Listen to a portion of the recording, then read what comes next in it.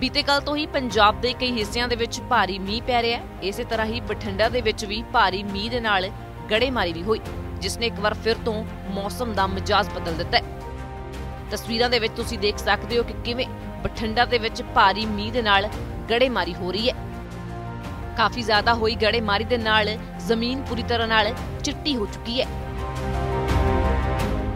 ਗੌਰਤਲਬ ਹੈ ਕਿ ਪਿਛਲੇ 2 ਦਿਨਾਂ ਤੋਂ ਪੰਜਾਬ ਦੇ ਵਿੱਚ ਠੰਡੀਆਂ ਹਵਾਵਾਂ ਚੱਲ ਰਹੀਆਂ ਸਨ ਤੇ ਬੀਤੇ ਕੱਲ ਪੰਜਾਬ ਦੇ ਕਈ ਹਿੱਸਿਆਂ ਦੇ ਵਿੱਚ ਭਾਰੀ ਮੀਂਹ ਪਿਆ, ਜਿਸ ਨਾਲ ਕਿ ਇੱਕ ਵਾਰ ਫਿਰ ਤੋਂ ਠੰਡ ਵੱਧ ਗਈ ਹੈ। ਹਾਲਾਂਕਿ ਪਿਛਲੇ ਕਈ ਦਿਨਾਂ ਤੋਂ ਕੜਕਦੀਆਂ ਧੁੱਪਾਂ ਦੇ ਕਾਰਨ ਮੌਸਮ ਦੇ ਵਿੱਚ ਤਬਦੀਲੀ ਆ ਗਈ ਸੀ, ਪਰ 2 ਦਿਨਾਂ ਤੋਂ ਚੱਲਦੀਆਂ ਠੰਡੀਆਂ ਹਵਾਵਾਂ ਤੇ ਭਾਰੀ ਮੀਂਹ ਨੇ ਇੱਕ ਵਾਰ ਫਿਰ ਤੋਂ ਠੰਡ ਵਧਾ ਦਿੱਤੀ ਹੈ। ਬਠਿੰਡਾ ਤੋਂ ਜੁਗਨੂ ਸ਼ਰਮਾ, ਦੈਨਿਕ ਸਵੇਰਾ ਟੀਵੀ। ਕੈਨੇਡਾ ਦਾ ਸਟੱਡੀ ਵੀਜ਼ਾ ਸਿਰਫ 5 ਲੱਖ ਰੁਪਏ ਦੇ ਵਿੱਚ। 5 ਲੱਖ ਰੁਪਏ ਦੇਣਾ, ਤੁਸੀਂ ਵੀਜ਼ਾ ਲੱਗਣ ਤੋਂ ਬਾਅਦ ਦੇਣਾ, ਜਿਹਦੇ ਵਿੱਚ ਤੁਹਾਡੀ 1 ਸਾਲ ਦੀ ਕਾਲਜ ਦੀ ਫੀਸ ਇਨਕਲੂਡ ਹੈ। ਤੁਸੀਂ ਬ੍ਰੈਂਪਟਨ ਜਾਣਾ ਚਾਹੁੰਦੇ ਹੋ, ਸਰੀ ਜਾਣਾ ਚਾਹੁੰਦੇ ਹੋ, ਸਿਰਫ 5 ਲੱਖ ਰੁਪਏ ਚ ਜਾਓਗੇ, ਇਹ ਵੀ ਪੈਸੇ ਤੁਸੀਂ ਵੀਜ਼ਾ ਲੱਗਣ ਤੋਂ ਬਾਅਦ ਦੇਣੇ।